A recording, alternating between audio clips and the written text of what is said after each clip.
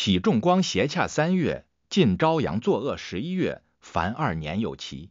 后梁太祖乾化元年，辛未，公元九一一年三月，乙酉朔初一，后梁任命天雄刘后罗州汉为天雄节度使。青海、静海节度使兼中书令南平襄王刘隐病情紧急，上表委任他的弟弟节度副使刘延暂时主持刘后事务。丁亥初三，刘隐病故，刘延继位。齐王李茂贞聚集军队到前蜀东部的边界地方。前蜀主王建对文武群臣说：“自从李茂贞被朱温所困，我经常接济他的困乏，现在就忘恩负义来进行侵犯。”谁替我攻打他？兼中书令王宗侃请求前去，王建任命王宗侃为北路行营都统。司天少监赵温劝谏说：“李茂贞没有侵犯边境，各将领贪图立功，率兵深入，运粮道路艰险遥远，恐怕不是国家的利益。”前蜀主不听，任命监视中王宗、太子少师王宗鹤、山南节度使唐道习为三招讨使。左金吾大将军王宗绍为王宗的副手，率领步兵、骑兵十二万，讨伐齐王李茂贞。壬辰初八，王宗侃等从成都出发，经其招展，连绵数百里。齐王李茂贞招募华元贼帅温韬作为养子，以华元为耀州，美元为定州，设置义胜军，任命温韬为义胜节度使，派他率领州、齐州的军队侵犯长安。后梁太祖诏令感化节度使康怀真、中武节度使牛存杰带领同华、河中军队前去讨伐。乙丑二十五日，康怀真等奏报在车渡攻反温韬，把他赶跑。夏季四月乙卯朔初一，骑兵侵犯前蜀兴元，唐道喜把骑兵击退。后梁太祖因为长期患病，五月甲申朔初一，大赦天下。甲辰二十一日，后梁任命清后刘延为青海节度使。刘延多延请中原读书人安置在幕府，出任刺史。刺史中没有五人。前蜀主王建前往利州，命令太子王元坦代主国政。六月癸丑朔初一，王建到达利州。燕王刘守光曾经穿唐代皇帝所穿的赤褐色袍服，回头对将吏们说。现在天下大乱，英雄武力竞争，我兵马强壮，地势险要，也想自己称帝，怎么样？孙贺说：现在内部危难刚平定，公家私人都困苦拮绝。太原晋王李存勖窥伺我们的西部，契丹王阿保机窥伺我们的北部，匆忙谋划自己称帝，未见其可行之处。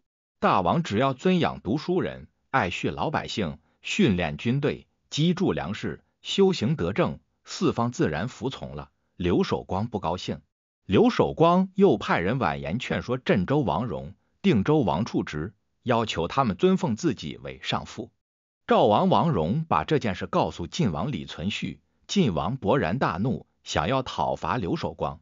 诸将都说，这个刘守光作恶到极点了，应当诛灭他的全族，不如假装推尊他为上父，来让他恶贯满盈。于是与王荣。义务节度使王处之、昭义节度使李嗣昭、镇武节度使周德威、天德节度使宋尧、六镇节度使共同奉策推尊刘守光为尚书令、上父。刘守光不醒悟，以为六镇节度使确实畏惧自己，更加骄横，于是上表给后梁太祖详细陈情。晋王等推尊我，我承受陛下的深恩，没有敢接受。我私下考虑事宜的办法。不如陛下任命我为河北都统，那么并州、镇州不值得平定了。后梁太祖也知道刘守光狂妄愚蠢，于是任命刘守光为河北道采访使，派遣阁门使王同、从正院受职史彦群前去册命他。刘守光命令属官草拟上父、采访使承受册封的礼仪。乙卯初三，属官取唐代册封太尉的礼仪呈现。刘守光看后。问怎么能没有南郊四天？改变年号的事宜，属官回答说：上父虽然尊贵，也是天子得的臣属，哪里有南郊四天改变年号的事呢？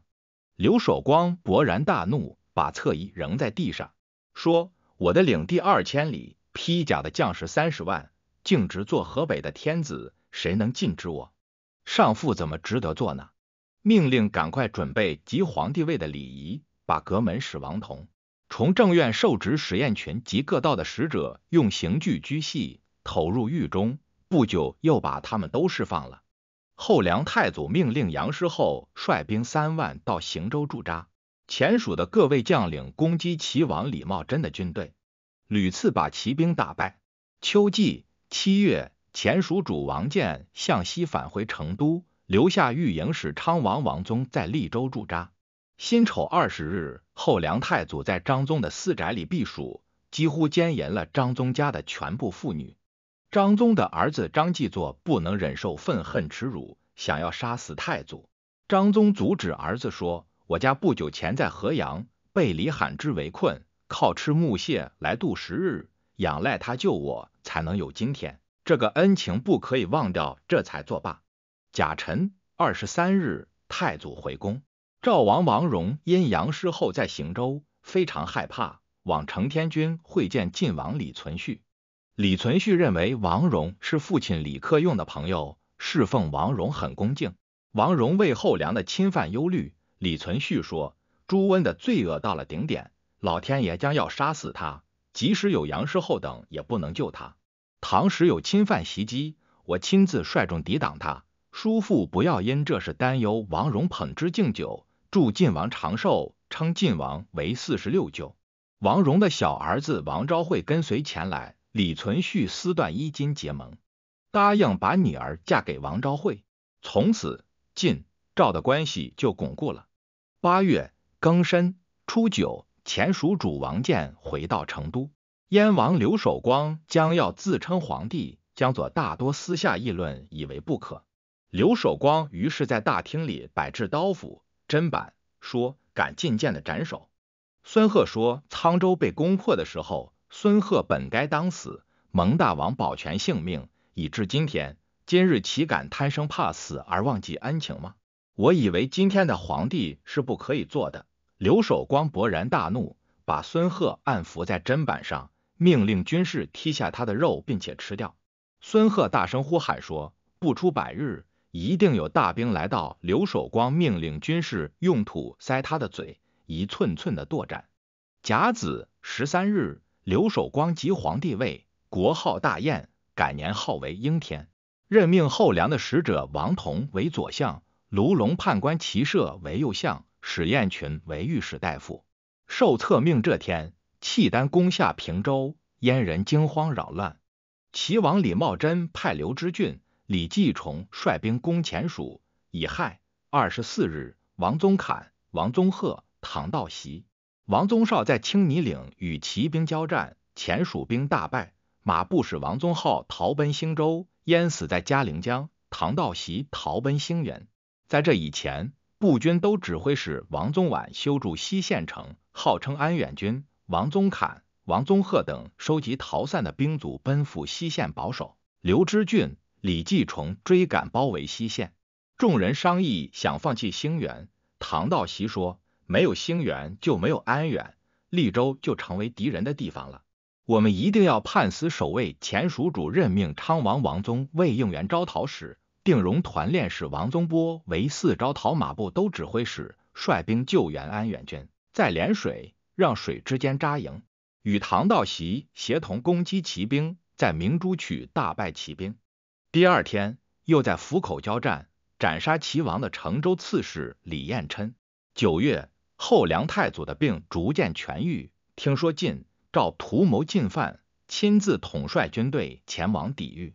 戊戌十八日。任命张宗为西都留守。庚子二十日，后梁太祖从洛阳出发。甲辰二十四日，到达魏州，正在吃饭，军前奏报晋军已经从井陉出发。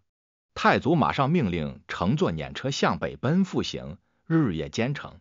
丙午二十六日，到达襄州，听说晋兵没有出发，这才停止前进。襄州刺史李思安没有想到后梁太祖突然到来。冷冷落的样子，一切没有准备，因此削夺官职爵位。湖州刺史钱彪酒醉逞凶杀人，担心吴越王前治罪。冬季十月，辛亥朔初一，杀死都监潘长，推官中安德，投奔吴王杨龙眼。晋王李存勖听说燕主刘守光自称皇帝，放声大笑说：“等他占卜在位年数的时候，我应该以取而代之了。”张承业请示派遣使者表示祝贺，来使他骄傲自负。李存勖派太原少尹李承勋前往。李承勋到达幽州，用相邻藩国交往通行的礼仪，燕掌管接待使者事务的官员说：“我大王已经即位称帝了。”你应当称臣，在朝廷上觐见李承勋，说：“我承受唐朝的命令，担任太原少尹。燕王自可同属他境内百姓，怎么能同属别国的使者呢？”刘守光勃然大怒，监禁他几天，放出来，并向他说：“向我称臣吗？”李承勋说：“燕王能够让我晋王称臣，那么我请求称臣；不然，唯有一死而已。”刘守光结果不能使他屈服。前蜀主王建前往利州，命太子王元坦代理国事。绝云军于后王从打败骑兵，逮住骑将李彦泰，俘获斩杀骑兵三千五百人。乙卯初五，捉升将彭军及攻下骑兵的两个营寨，俘获斩杀骑兵三千人。王宗侃派遣副将林思鄂自中巴川小路到达尼西，见王建，报告紧急军情。王建命令开道都指挥使王宗弼率兵救安远，与刘知俊在斜谷交战，把刘知俊打败。贾寅初四夜里，后梁太祖从襄州出发，乙卯初五到达环水。这天晚上，边境官吏说晋王、赵王的军队南下，太祖立刻率领军队前进。丙辰初六到达魏县，有人报告说沙陀兵到了，后梁兵震动恐惧，多数逃跑。严厉惩罚也不能禁止。过了不久，又报告说没有敌人，后梁军上下才安定下来。戊午二十日，贝州奏报进兵侵犯东吴，不久撤离。后梁太祖因潞州加寨，百乡屡次失败，所以尽力快速巡视北部边界，想完全洗刷过去的耻辱，神情忧郁烦闷，经常急躁发怒。功臣老将往往因为小过失被杀。众人心里更加畏惧。不久，晋、赵的军队竟未出发。十一月壬午初二，后梁吉祖南下返回。燕主刘守光召集姜立商量进攻益州、定州、幽州参军景城人冯道认为不可行。刘守光勃然大怒，把冯道拘禁监狱。有人救他，得以释放。冯道逃奔到晋，张承业向晋王李存勖推荐，任命他为长书记。丁亥初七，王处直向晋王报告遇到危难。怀州刺史开封人段明远的妹妹是个美人。戊子初八，后梁太祖到达霍家，段明远进献财物丰富齐备，太祖非常高兴。庚寅初十，保塞节度使高万兴奏报，派遣都指挥使高万金率兵攻延州，延州刺史高行存投降。壬辰十二日，后梁太祖回到洛阳。病又发作，前蜀将王宗弼在金牛打败骑兵，攻取十六寨，俘获斩杀六千余人，擒获骑将郭存等。丙申十六日，前蜀王宗、王宗波在黄牛川打败骑兵，擒获骑将苏厚等。丁酉十七日，前蜀主王建自利州前往兴元，援军已经聚集，安远军望见援军旗帜，王宗侃等擂鼓呐喊冲出。与严军加攻骑兵，把骑兵打得大败，攻下二十一寨，斩杀骑将李廷智等。乙亥十九日，骑兵解除对安远军的包围而逃跑。唐道习预先在斜谷埋伏军队进行拦击，又把骑兵打败。庚子二十日，王建西行返回成都。齐王左右亲信石简向齐王李茂贞说刘知俊的坏话，齐王夺了刘知俊的兵权。李继崇对齐王说：“刘知俊是壮士，处境困难，前来归顺，不应该因为谗言罢免他。”齐王为此杀了石简来安抚刘知俊。李继崇召刘知俊率全族到秦州居住。戊申二十八日，燕主刘守光率兵二万侵犯益州、定州，攻打荣城。王楚直向晋王告急求救。十二月乙卯初五。后梁任命朗州刘后马为永顺节度使、同平章事。镇南留后卢延昌出游打猎没有节制，百胜军指挥使黎裘把他杀了，自立为留后。将要杀谭全波，谭全波称说有病，请求告老，才免杀身之祸。丙辰初六，后梁任命黎裘为黔州防御使。不久，黎裘死了，牙将李彦土代理主持黔州事务。谭全波更称病情沉重。刘岩听说谭全波病了，发兵攻打韶州，并把州城攻克。韶州刺史廖爽逃奔楚，楚王马焉上表任命廖爽为永州刺史。丁巳初七，前蜀主王建回到成都。戊午初八，后梁任命静海留后瞿美为静海节度使。癸亥十三日，后梁任命靖江行军司马姚彦章为宁远节度副使，暂时主持荣州事务。这是依从楚王马焉的请求。刘岩派遣军队进攻荣州，马焉派遣都指挥使许德勋率领贵州兵前去救援。姚彦章不能守住州城，于是迁移荣州市民及其库贮财物，投奔长沙。刘岩终于取得了荣管及高州。甲子十四日，晋王李存勖派遣藩汉马步总管周德威率领三万军队攻燕，即以救援益州、定州。这一年，前蜀主王建任命内枢密使潘抗为武泰节度使，潘抗的堂弟宣徽南院使潘翘为内枢密使。乾化二年，壬申，公元九一二年春季正月，周德威自代州东出飞虎口，与赵王的部将王德明。义务将领程岩在易水会合。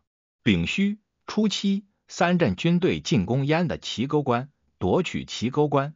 戊子初九，三镇军队包围涿州。涿州刺史刘知温据城防守。刘守齐的门客刘去飞在城下大声呼喊，对刘知温说：“与你的事有什么相干而坚决固守呢？”刘守齐脱下头盔慰劳他。刘知温在城上叩拜，于是投降。周德威嫉妒刘守奇的功劳，在晋王李存勖面前诬陷他。晋王召见刘守奇，刘守奇担心获罪，与刘去飞及进士赵凤前来投奔。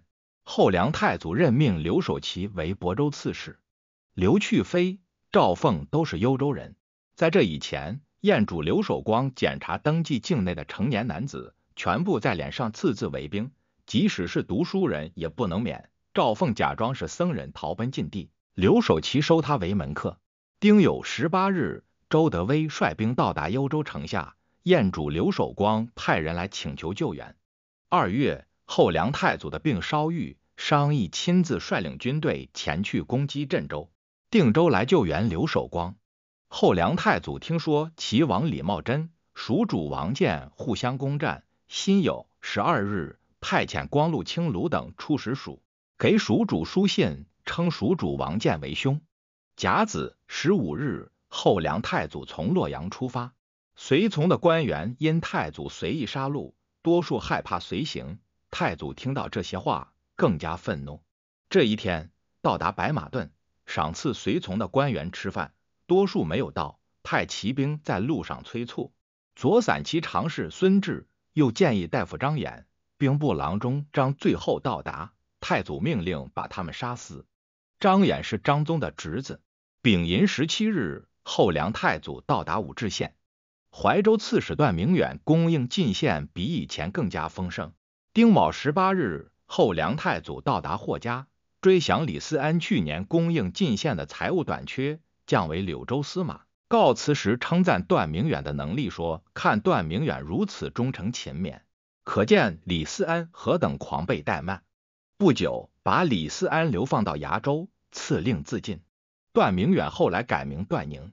乙亥二十六日，后梁太祖到达魏州，命都招讨使及宣义节度使杨师厚、副使及前河阳节度使李周以包围枣强。招讨应接使及平卢节度使贺德伦、副使及天平刘后袁相先包围县。贺德伦是河西湖人，袁相先是下邑人。戊寅。二十九日，后梁太祖到达贝州，陈州蛮首领宋业、昌师义都率众将楚，楚王马焉任命宋业为陈州刺史，昌师义为叙州刺史。后梁太祖日夜兼程，三月辛巳初二，到达夏伯南，登上关金冢。赵江伏袭带领数百名骑兵巡逻到这里，不知道是后梁太祖，立即上前逼近。有人报告说，晋兵大批人马来到了。太祖抛弃出行用的帐幕，赶快带兵奔赴枣强，与杨师后的军队会合。伏袭是赵州人，枣强城小而坚固，赵人聚集精锐军队数千人聚城防守。杨师后紧急攻打，数日没有攻下，城墙坏了修复，后梁兵死伤以万计。城中箭矢石块将要用完，商量出城投降。有一士兵奋力高呼说。梁贼自百乡失败以来，是我镇州人如眼中死敌。现在前去归顺他们，如同自己投入虎狼口中罢了。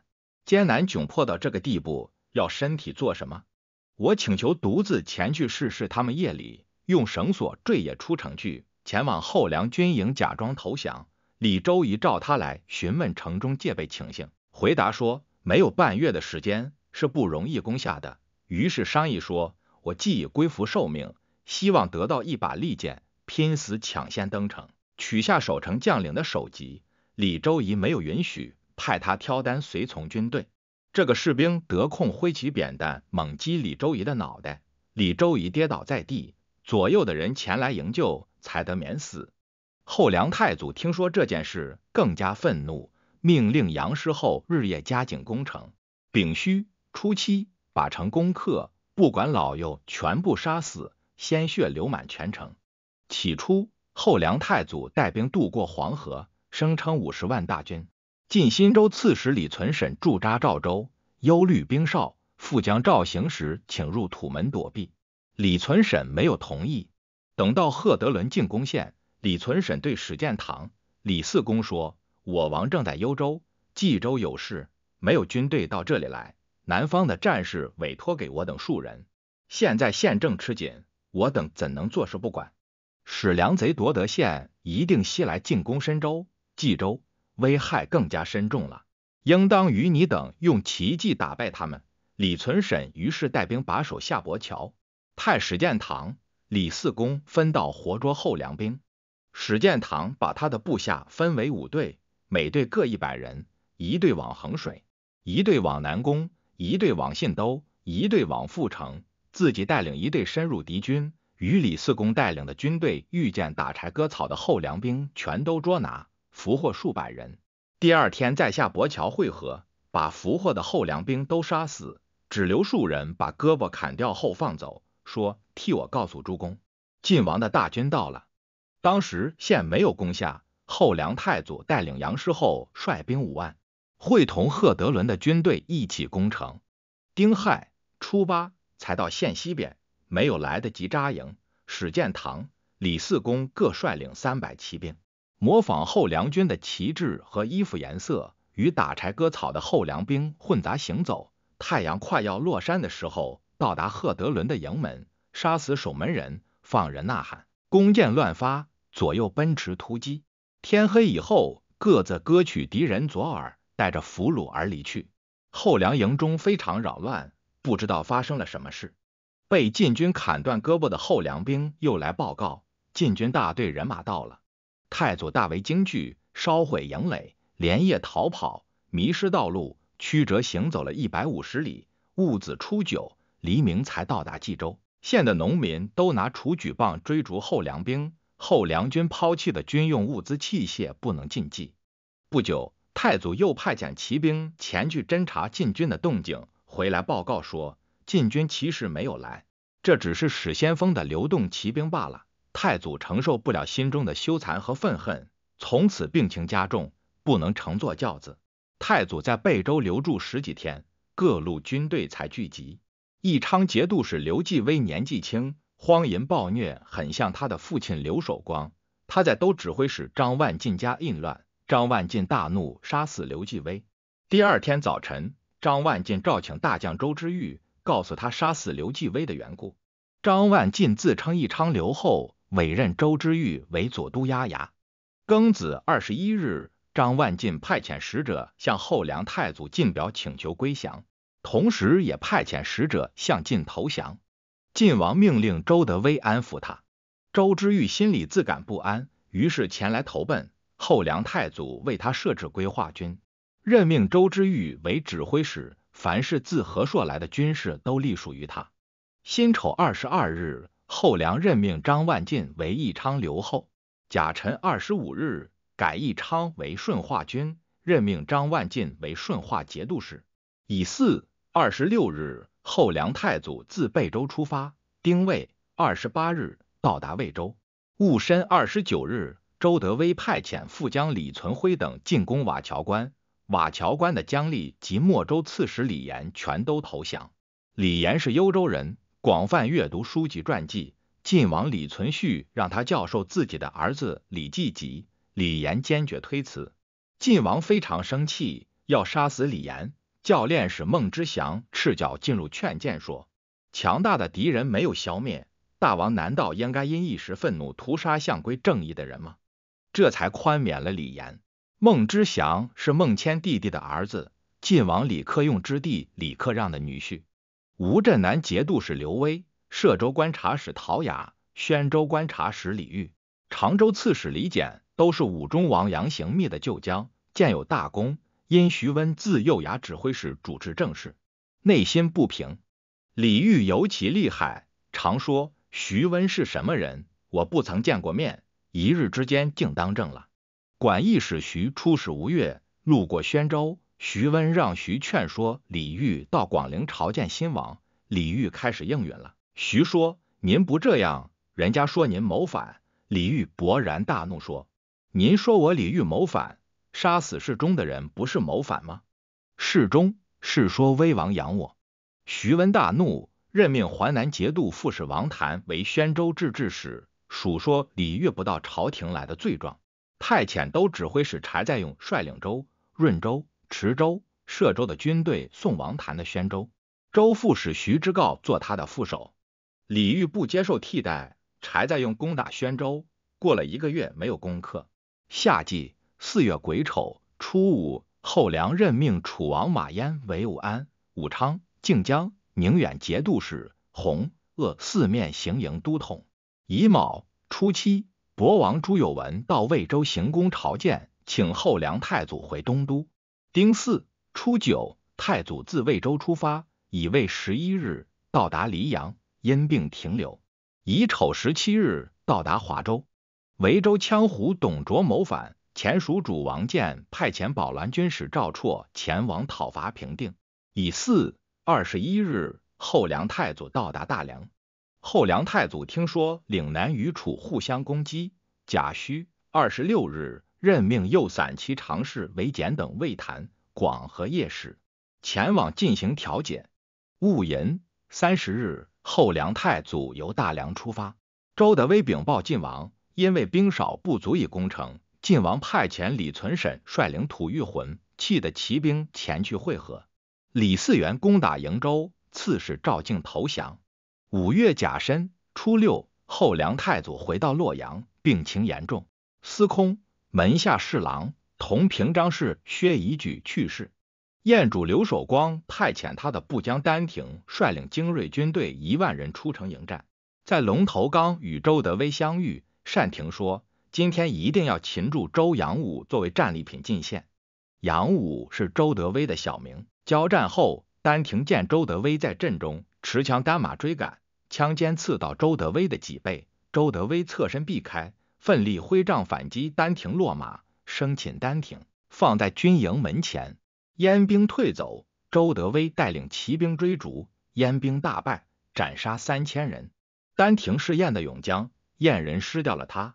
大丧士气。己丑十一日，属实行大赦。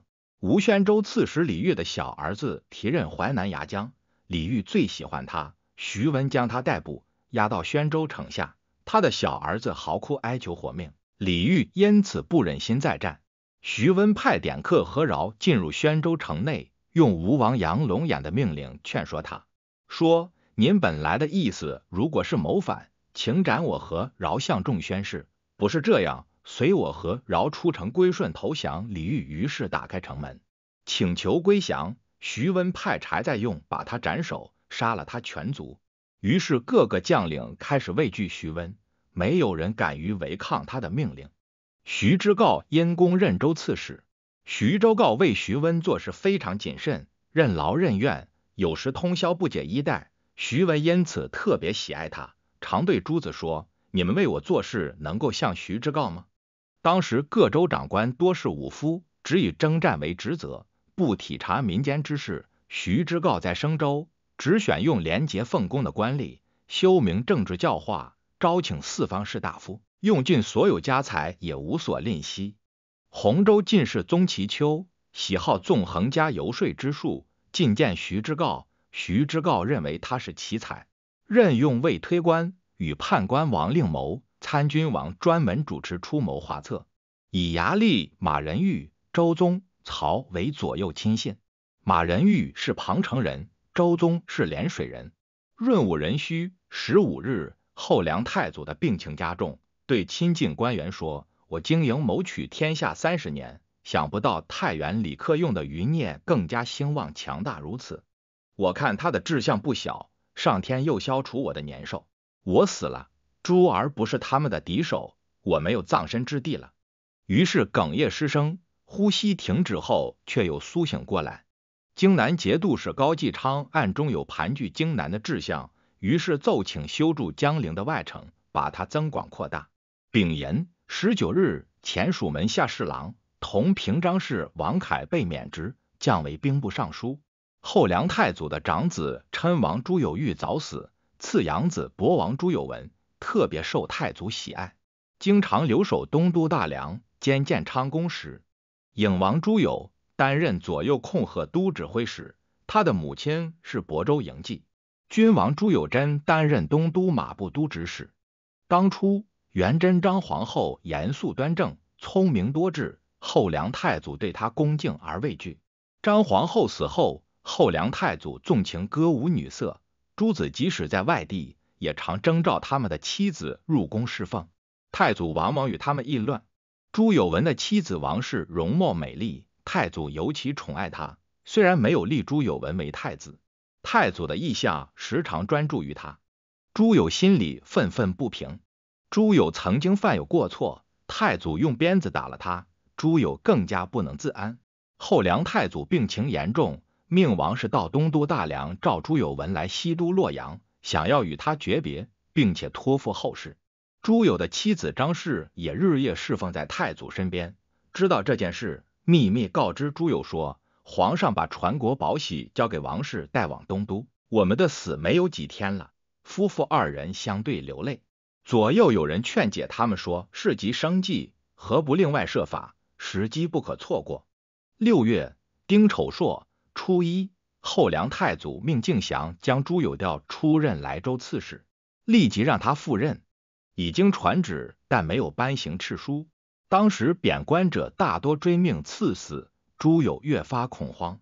戊寅初二，朱友改换服装，隐藏身份，进入左龙虎军。会见左龙虎统军韩，把实情告诉他。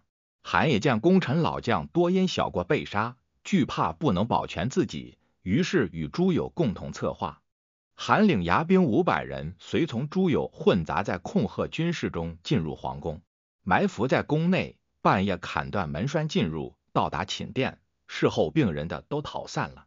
后梁太祖惊起，问你谋反的是谁？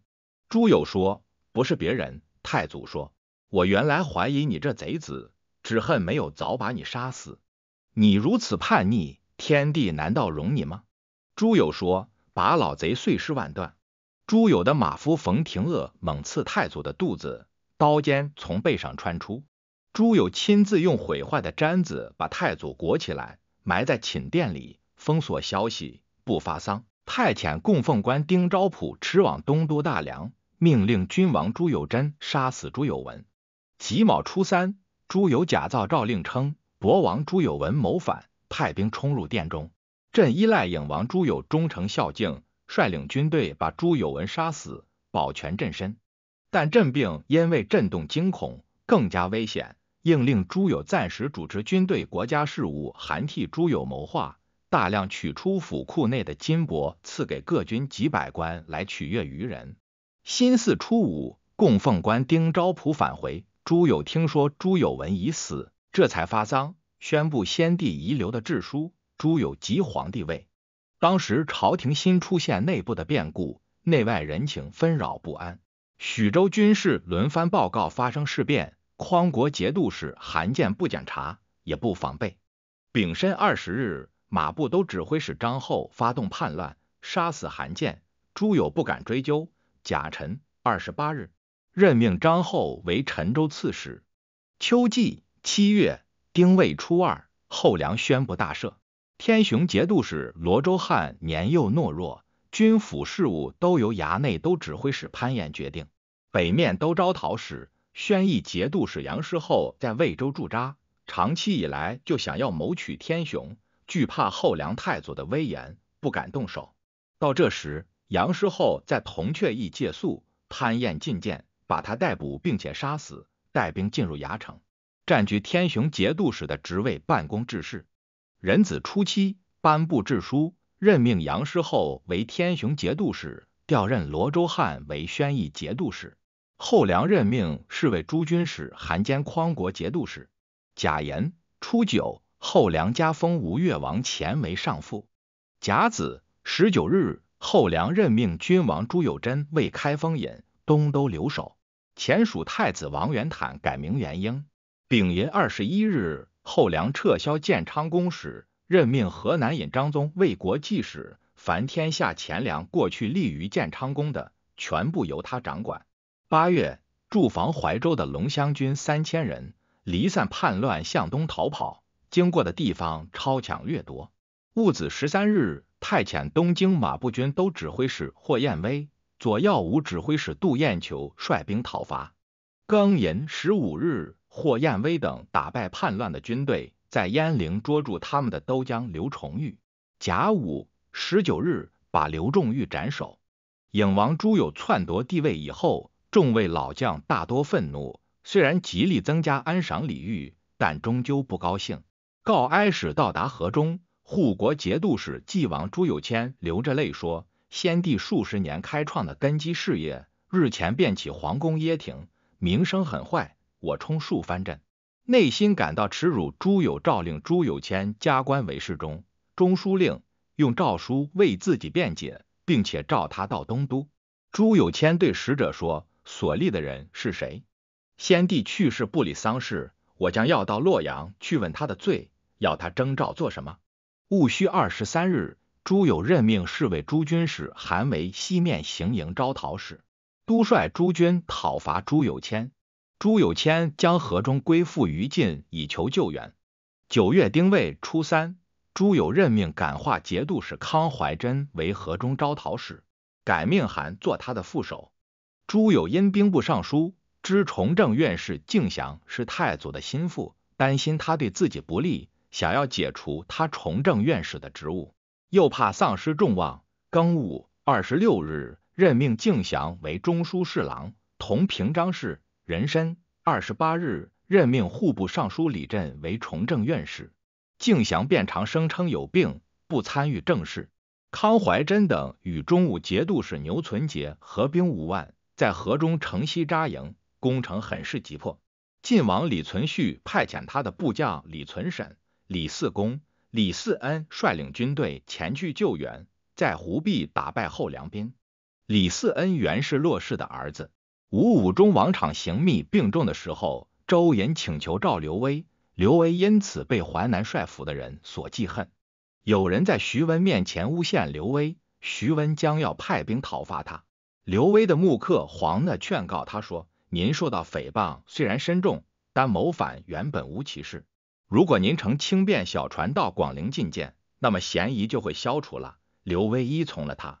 歙州观察使陶雅听说宣州观察使李煜战败，也很惧怕，与刘威同行王广陵。徐温待他们很恭敬，如同侍奉武中王杨行密的礼节，从优加官进爵。陶雅等心悦诚服，因此人们都推崇徐温。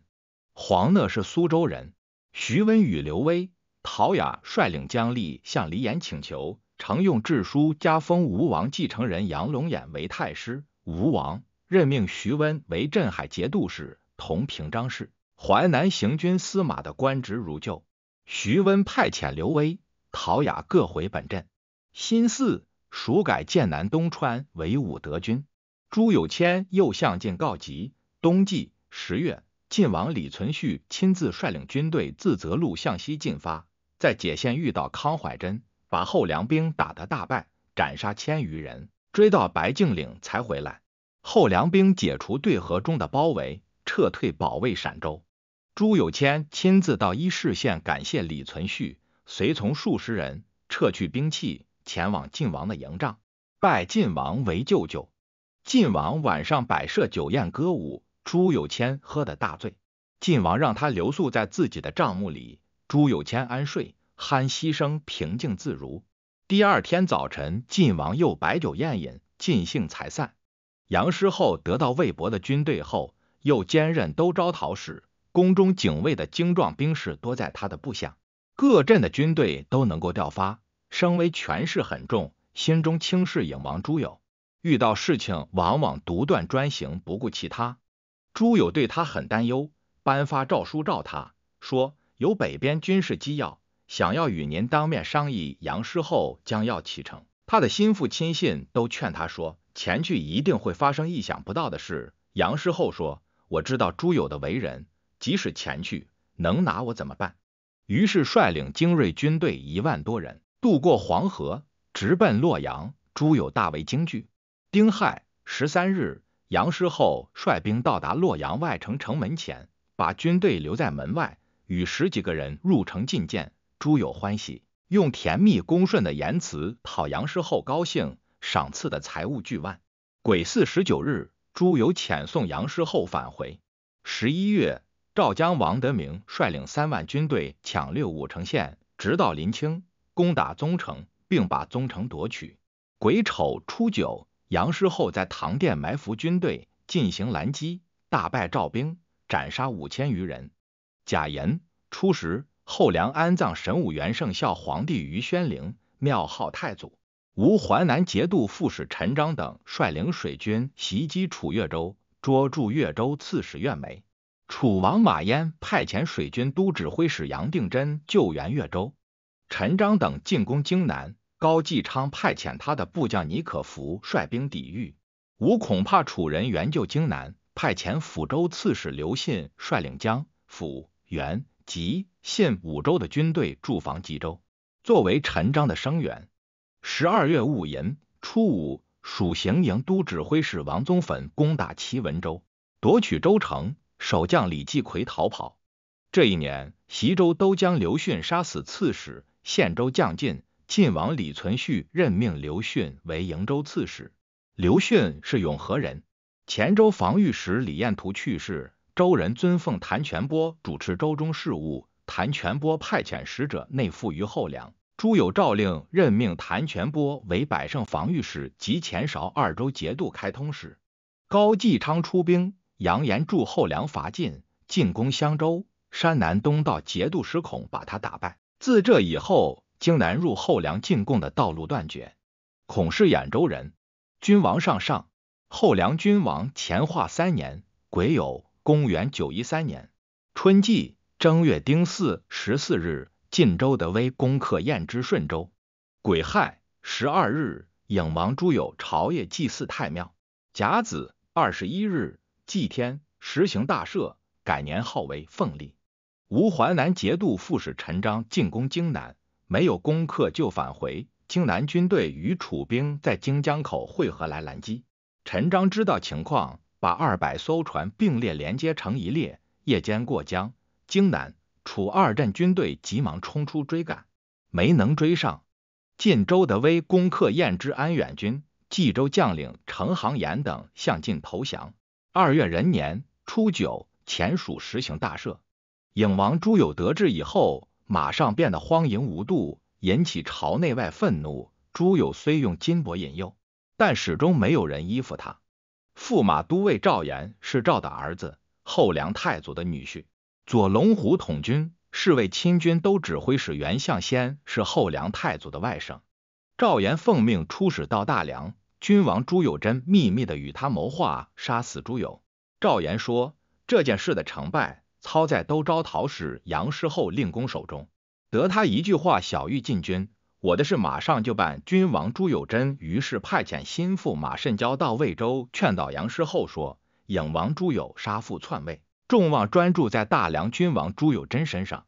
您如果能够因此成功，这是非凡的功勋啊！并且答应事成之日赏赐给他犒劳将士的钱五十万民。杨师厚与江左商议这件事，说：当影王杀父叛逆的时候，我不能立即讨伐。现在君臣名分已定，无故改变主意，可以吗？有人说，影王亲自杀死君父是贼，君王发兵复仇是正义的，尊奉正义，讨伐逆贼，有什么君臣之分？他们如果一旦打败逆贼，您将怎么安顿自己呢？杨师厚说：“我几乎打错算盘。”于是派遣他的部将王顺贤到洛阳，暗中与左龙虎统军。是为亲军都指挥使袁相先商量，派遣招讨马步都虞后乔人朱汉斌率兵驻守华州作为外应。驸马都尉赵岩返回洛阳，也与袁相先秘密制定计策。朱有惩治龙乡军内逃散作乱的人，搜捕他们的余党，逮住的灭族，经历一年而不停。当时龙乡军有戍守大梁的，朱友召他们回洛阳。君王朱友贞于是派人激怒他们说。天子因戍守怀州的龙乡军叛变，追查你们打算全部活埋龙乡军的兵众都很害怕，不知道怎么办。丙戌十三日，君王奏报大梁的龙乡军怀疑恐惧，不肯启程。戊子十五日，龙乡军将校觐见君王，流着泪请求指示生存的道路。君王说：先帝与你们三十余年南征北战，筹划经营帝王事业。现在先帝尚且被人杀死，你们到何处能够逃脱死亡呢？于是拿出后梁太祖的画像给他们看，并且流着泪说：“你们能够自己奔赴洛阳报仇雪耻，就转祸为福了。”龙乡军兵众跳跃高呼万岁，请求发给兵器。君王发给了他们。庚寅十七日早晨，袁相先等率领禁军数千人冲入宫中。朱友听说兵变。与妻子张氏及冯廷鄂跑到北垣墙楼下，将要越过城墙，自己估计不能免死，命令冯廷鄂先把妻子张氏杀死，后杀死自己。冯廷鄂也自杀。诸军十余万人大肆抢掠市中财物，百官逃散，中书侍郎同平章事杜晓和侍讲学士李都被乱兵杀死，门下侍郎同平章事于京和宣政使李振被打伤。直到太阳落山才安定下来。袁相先和赵岩带着传国宝玺前往大梁迎接君王朱有贞。君王说：“大梁是国家创立基业的地方，何必到洛阳去？”于是，在东都大梁即帝位，又把年号改为乾化三年，追废朱有为平民，恢复博王朱有文的官爵。丙申二十三日，晋江李存辉率兵攻打燕之潭州。潭州刺史陈确献城投降，前蜀唐道习从兴元罢免回成都，复任枢密使。太子王元英在朝廷上逐条分裂唐道习的过失罪恶，以为不应当再掌管国家机密要事。前蜀主王建不高兴，庚子二十七日任命唐道习为太子太保。三月甲辰朔初一，晋周德威夺取燕之卢台军。丁未。初四，后梁帝君王朱友贞更名为。很久以后，又改名为。庚戌初七，后梁加官杨师厚兼中书令，赐爵叶王，赐诏不称名。事无大小，一定要先咨询过他，然后施行。后梁帝派遣使者招抚朱有谦，朱有谦又称藩镇，尊奉梁朝年号。丙辰十三日，后梁帝立皇帝朱有敬为康王。乙丑二十二日，晋将刘光俊攻克古北口，燕之居庸官使胡令圭等投奔晋。戊辰二十五日，后梁帝任命保义刘后代思远为保义节度使，镇守行州。燕主刘守光命大将袁行钦率领七千骑兵在山北牧马，召募山北军队来接应契丹。又任命骑兵将领高行为武州刺史，以为外援。晋将李嗣源分兵巡行山后八军，全部攻克，晋王任命他的弟弟存取为新州刺史、总理山后八军，委任燕纳将军使卢文进为副将。李嗣源进攻武州，高行献城投降。袁行钦听到高行投降，带兵攻打高行。高行派他的弟弟高行周到禁军营中作为人质，请求发兵援救。李嗣源带兵救援高行，袁行钦解围离去。李嗣源与高行周追赶到广边军，总共打了八仗，袁行钦力尽投降。李嗣源喜爱袁行钦勇猛善战，收为养子。李嗣源进攻汝州，夺取州城，委任高行为代州刺史。高行州留下侍奉李嗣源，常与李嗣源养子李从珂分率牙兵随从左右。李从珂的母亲魏氏是镇州人，先嫁与王氏，生从珂。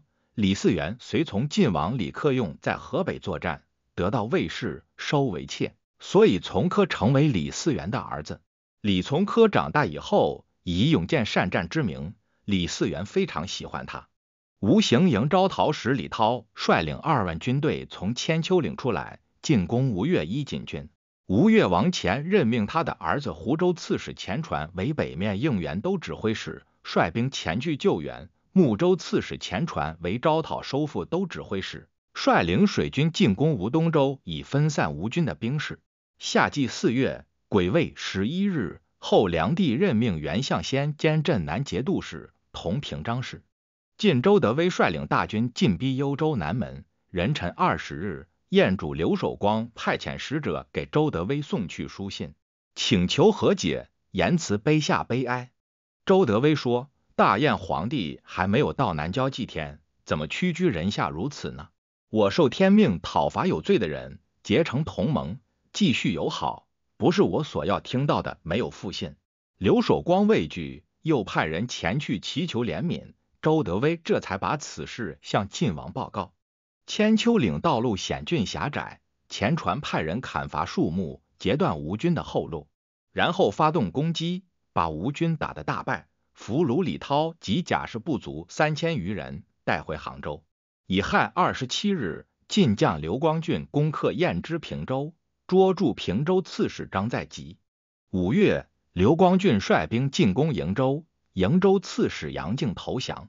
乙巳，初四，前蜀主王建任命兵部尚书王凯为中书侍郎，同平章事。杨师厚与刘守奇率领汴州、华州、徐州、兖州、魏州、亳州、邢州州的十万军队大肆掳掠赵地。杨师厚自百乡进入攻击土门。指向赵州，刘守奇自贝州进入，直指冀州，在南门外扎营，焚烧镇州城关乡。壬子十一日，杨师厚自九门退兵到夏伯，刘守奇带兵与杨师厚会同进攻夏伯，将城夺取。晋李存审、史建堂戍守赵州，兵少，赵王向周德威告急。周德威派遣骑将李少恒会同赵将王德明一起抵御后梁军。杨师厚、刘守奇自宫高渡过御河，向东进发，逼近沧州。张万进畏惧，请求迁往河南。杨师厚上表请调张万进镇守青州，任命刘守奇为顺化节度使。吴派遣宣州副指挥使花钱率领军队会同广德镇遏使窝信驻防广德，将要再次侵犯伊锦军。吴越前船率兵前去攻打。六月，任申朔。初一，晋王派遣张承业前往幽州，与周德威商议军事。丙子初五，前蜀主王建任命道士杜光庭为金子光禄大夫，左谏议大夫，封蔡国公，晋号广成先生。杜光庭学识渊博，长于写作，王建推崇他，常与他商议政事。吴越前传率兵攻克广德，俘虏花钱窝信，回归物资。十七日，后梁任命张万进为平卢节度使。辛卯二十日，燕主刘守光派遣使者劝说张承业，请献城投降。张承业因他没有信用，不答应。前蜀太子王元英生就了一张公猪嘴，牙齿外露，眼睛斜视，但是机警灵敏，通晓书，善于骑马射箭，性情扁狭急躁，多疑残忍。蜀主王建命杜光庭选择学问纯正、性情安详、有德行的人，让他们侍奉太子。杜光庭推荐儒生许济、许简夫，太子与他们未曾交淡过，每天与乐宫下人嬉戏玩耍，没有节制。蜀官没有人敢于劝谏。秋季七月，王建将要在七夕出去游玩。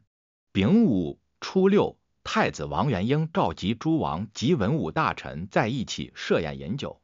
吉王王宗翰、内书密使潘翘、翰林学士承旨高阳人毛文熙没有到，太子勃然大怒，说吉王不来，一定是潘翘与毛文熙从中挑拨离间。大昌军使徐瑶、常谦一向为太子所亲近信任，依次斟酒劝饮之间，多次邓少保唐道习，唐道习畏惧而起身。丁未初七早晨，太子入宫禀报王建说潘翘。毛文熙挑拨离间我们兄弟，王建大怒，命将潘翘、毛文熙贬官放逐，任命前武太节度使兼侍中潘抗为内枢密使。太子出宫以后，唐道习入宫觐见，王建把刚才这事告诉他。唐道习说，太子图谋作乱，想要召集诸将、诸王，用兵禁锢他们，然后发动叛乱罢了。王建产生怀疑，于是七夕不出去游玩了。唐道习请召驻防迎兵进攻直宿警卫，王建应允。成都城内外戒备森严，太子王元英开始没有做准备。听说唐道习召集军队，于是带领天武甲士进行自卫，逮捕潘翘、毛文熙，打他们几乎致死，把他们囚禁在东宫里。又逮捕成都尹潘教，把他囚禁在德贤门。戊申初八，大昌军使徐瑶。常谦与怀胜军使严等各率自己所属的军队随从太子进攻唐道习，到达清风楼，唐道习带领驻防迎兵出来抵御战斗，唐道习被乱箭射中，追赶到城西，把唐道习杀死，并杀死驻防迎兵很多，成都城内外惊慌扰乱。内书密使潘抗向前蜀主王建进言说，太子只是与唐道习争夺权力罢了，没有其他心思。陛下应该当面告谕诸王文武大臣来安定国家。王建于是召监中书令王宗侃、王宗鹤及前利州团练使王宗鲁，命他们发兵讨伐发动叛乱的徐瑶、常谦等人。王宗侃等在西球场门列阵，监视中王宗案自大安门攀梯登城，进入宫内，与徐瑶、常谦在会同殿前面进行战斗，杀死数十人。徐瑶战死。常谦与太子逃奔龙跃池，隐藏在战船中。即有初九早晨，太子从战船中出来，向船夫讨饭吃。船夫把这事报告王建，王建急忙派遣吉王王宗翰前去慰问安抚。来到龙跃池时，太子已被卫士杀死。王建怀疑是王宗翰杀了太子，痛哭不止。官员们担心发生事变，恰巧同平章事张格进城慰谕军民。读到不对悖逆作乱的人实行杀戮，将要贻误国家的大计时，王建止住涕泪说：“朕怎么敢因私情危害国家公事？”于是颁布诏书，废除太子王元英为平民。王宗翰奏请把亲手杀死太子的人斩首，结果王元英左右有几十个人被杀，降职流放的人很多。庚戌初时，前蜀主追赠唐道习为太师。谥号中壮，又任命潘翘为枢密使。甲子二十四日，晋武院军使李信攻克莫州，生擒燕将毕元福。八月乙亥初六，李信攻克瀛州。后梁帝赐高继昌爵为渤海王。晋王与赵王王戎在天长会见。楚宁远节度使姚彦章率领水军侵犯吴鄂州。吴任命池州团练使吕师造为水陆行营应援使，还没有到达，楚兵退走。九月甲辰初五，后梁任命御史大夫姚继为中书侍郎、同平章事。燕主刘守光带领军队在夜里出击，向进夺回顺州。吴越王前派遣他的儿子钱传、钱传及大同节度使钱传英进攻吴常州，在无锡县潘峰扎营。徐温说：“这人轻浮而且怯懦，率领诸将日夜兼程赶路，奔赴常州。到达无锡时，黑云都将臣向徐温进言说：他们以为我军远道而来，一定疲乏劳倦，不能进行决战，请准带领部下乘他们没有戒备攻击他们，于是从别的道路绕到敌人后面。徐温带领大军挡在吴越军队的前面，前后夹攻，把吴越军打得大败，杀死俘获吴越兵很多。荆南节度使高继昌制造战船五百艘，修挖成员壕沟，整治铠甲器械，作为进攻守卫的工具，召集逃亡在外的人，交结吴、蜀、后梁朝廷渐渐不能控制。冬季十月己巳朔初一。燕主刘守光率领五千兵众在夜里出发，将要进入潭州。庚午初二，周德威自涿州带兵拦击，把燕兵打得大败。刘守光带领一百多骑兵逃回幽州，他的将领兵卒投降的接连不断。前蜀潘抗屡次请求立太子，前蜀主王建认为雅王王宗禄很像自己，信王王宗杰才思敏捷。想要选择一人立为太子，郑王王宗衍年龄最小，他的母亲徐贤妃深受蜀王宠爱，想要立自己的儿子，派飞龙使唐文示意同平章事张阁上表请立王宗衍。张阁在夜里把写好的表彰给功臣王宗侃等看，欺骗他们说是承受了蜀主的密旨，众人都署了名。前蜀主让下面的人观察各个儿子的面貌。相面人也迎合所谓密旨，说郑王相貌最尊贵。前蜀主以为众人确实想要立王宗衍为太子，不得已答应了他们，说王宗衍年幼懦弱，能够胜任他的职务吗？甲午二十六日，立王宗衍为太子。受册完毕，潘抗以朝廷没有什么事情，声称有病，请求告老辞官。王建不准许，潘抗流着眼泪，坚决请求，才答应了他。国家有了大的疑难事情，常派遣使者到他家里请教。岭南节度使刘岩向楚王求婚，楚王马焉应允把女儿嫁给他。卢龙节度使的管辖属地都被晋占有，燕主刘守光独自据守幽州城，向契丹请求救援。契丹认为他没有信用，终于没有救援。刘守光多次向晋请求归降，晋人怀疑他欺诈，始终不接受他投降。到这时，刘守光登上城楼，对周德威说：“等晋王到了，我就打开城门，俯首听命。”周德威派遣使者禀报晋王。十一月甲辰初六，晋王任命监军张承业暂且主持军府事务，自己亲往幽州。辛酉二十三日，晋王单骑到达幽州城下，对刘守光说：“朱温篡唐叛逆。”我本想与您会合，和硕五镇的军队共同兴复唐氏的国运。您图谋不善，竟然效法朱温，狂妄僭越。镇州王荣、定州王楚之二帅都驯服恭顺的侍奉您，然而您却从来不体恤他们，所以才有今天这场战斗。男子汉无论成功还是失败，必须决定去向。您将要怎么办？刘守光说：“今天我是砧板上的肉罢了。”只听大王裁决，晋王怜悯刘守光，与他折断弓箭起誓，说只要您出城相见，我保证没有别的事情。刘守光用改换他日来推脱。在这以前，刘守光的爱将李小喜多佐助，促成刘守光的恶行。刘守光对李小喜言听计从，李小喜的权势轻动境内。到这个时候，刘守光将要出城投降，李小喜止住了他。这天晚上，李小喜越过城墙，前往晋军投降，并且说幽州城内已经力量用尽，壬戌二十四日，晋王李存勖统帅诸军从四面同时攻城，夺取了幽州城，擒获刘仁恭及他的妻妾。刘守光带着妻子儿女逃走。癸亥二十王日，晋王进入幽州。后梁任命宁国节度使王景仁为淮南西北行营招讨应接使，率领军队一万余人进攻泸州、寿州。